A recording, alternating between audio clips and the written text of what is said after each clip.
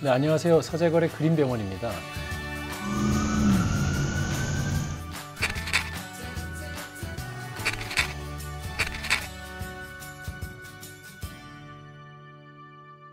오늘 말씀드리고 싶은 건 여러분들이 너무 궁금해 하시는 그 다이어트. 뭐 여러 가지 방법들이 너무 많습니다. 뭐 저도 살이 빠져본 사람으로서 충분히 체험했었는데 해독 주스를 통해서. 근데 이제 그걸 유지하고 하는 것들은 역시 뭐 운동이나 이런 것들이 병행이 돼야 되지만 영양소 중에도 다이어트에 도움되는 영양소가 있어서 오늘 좀 소개해 드리려고 합니다.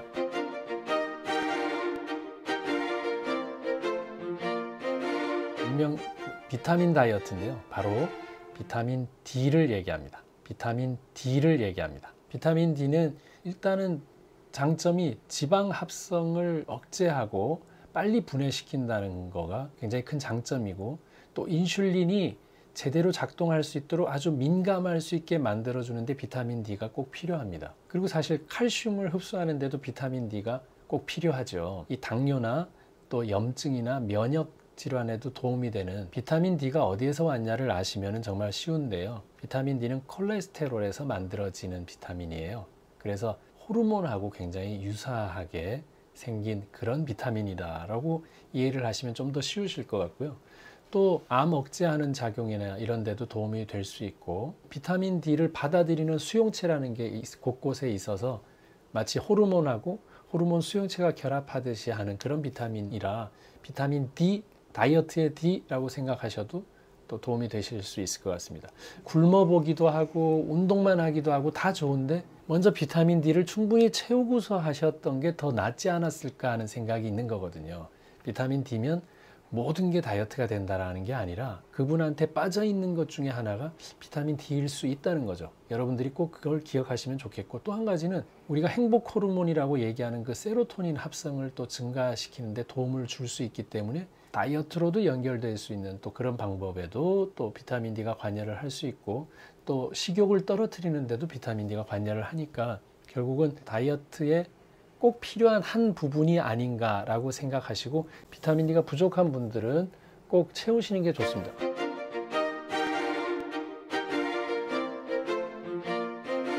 근데 한국 분들이 특히 비타민 D가 결핍되는 뭐 이유는 자외선 차단제 우리가 제일 잘 바릅니다. SPF 8 정도 이상만 돼도 실제 이 자외선이 바로 차단이 돼서 비타민 D 합성을 하기 어려운 정도가 됩니다. 제가 한번 그림 그려서 말씀을 드릴게요.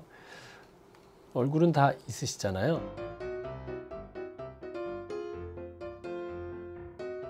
왜 얼굴이 중요하냐? 노출된 데가 얼굴이라서 그래요. 발가락 노출하는 분 물론 계시지만 대부분 얼굴 피부가 노출이 되겠죠. 그러면 얼굴은 또 하얗게 살고 싶은데 노출하는 거는 여기밖에 없다면 참 이게 이율배반이죠. 그죠? 비타민 D를 위해서는 막 타야 될 것 같고 하얗게 보존하려면은 감춰야 될 것 같죠. 그 감추는 자외선 차단제가 우리가 이런 창 안에 갇혀 있으면 자외선 못 들어옵니다. 그러면 비타민 D 합성이 안 되거든요. 그럼 창 밖에 내가 나와 있어요. 예를 들어서. 근데 여러분들이 자외선 차단제를 열심히 바르면 창하고 똑같습니다. 또 튀어나옵니다. 그러면 발라서 튀어나오고 실내여서 튀어나오고 북반구여서 우리나라 사람들 또 잘 튀어나오면 결국은 비타민 D 합성할 만한 기회가 너무 없죠. 그래서 비타민 D를 검사를 해서 내가 레벨이 너무 낮다면 보충해야 될 필요가 꼭 있고 또 한 가지는 실내 생활을 우리가 많이 하죠. 실내 그 사무실에서 주로 생활을 하기 때문에 실제 이런 창이나 이런 걸 통해서 뚫고 들어오기가 UVB가 어렵습니다. 결국은 바깥 생활을 해야지만 얻을 수 있는데 그게 쉽지 않으니까 결핍된 사람들이 굉장히 많아서 그런 분들이 살이 잘 안 빠지는 사람이 된다면 보충을 해야 할 필요가 있다는 얘기죠. 한국인들 평균 비타민 D 용량을 봤더니 어느 정도 있으신지 10 나노그램 퍼 밀리리터 이하예요.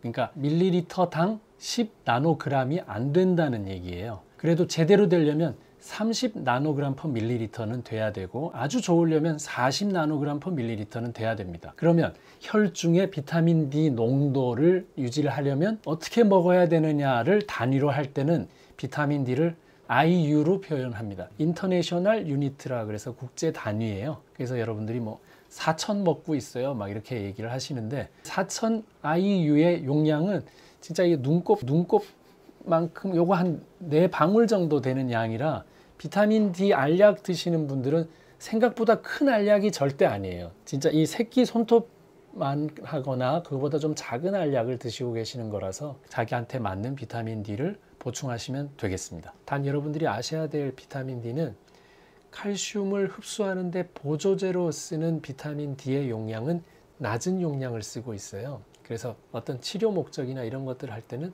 그것보다는 비타민 D 단독으로 된 걸 용량을 조절해 가면서 먹는 게 좋은 방법이고 아니면 주사를 3개월에 한 번씩 맞아서 유지하는 게 방법인데 또 때로는 어떤 질환에 따라서는 비타민 D가 좀 더 필요할 수 있기 때문에 전문가 선생님들하고 꼭 상의해서 비타민 D를 복용하시는 게 좋을 것 같습니다.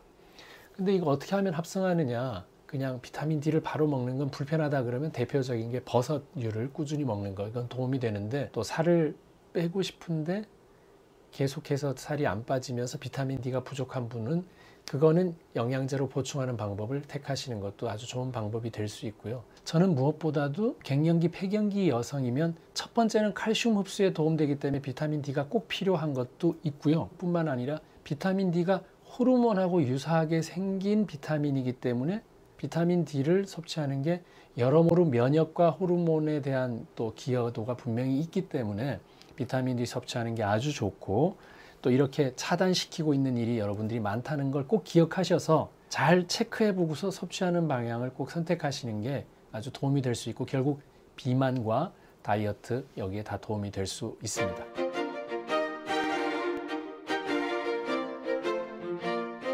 또 한 가지 오늘 말씀드리고 싶은 거는 다이어트 중에 뭐 비타민 D도 굉장히 중요한데 온도 다이어트가 있습니다.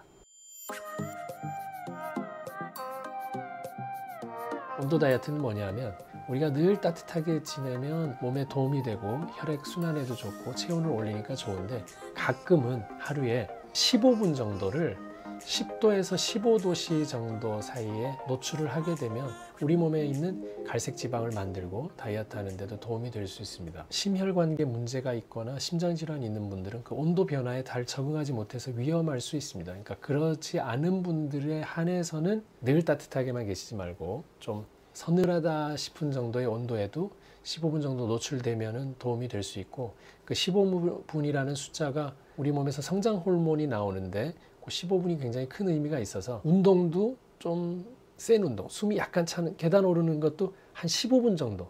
그러니까 하루에 15분은 내가 의식적으로 운동이건 뭐 온도건 반드시 하고 있는 일이 있어야 되는데 하루를 그냥 통으로 24시간을 보내버리시면 이런 걸 너무 놓치게 되거든요.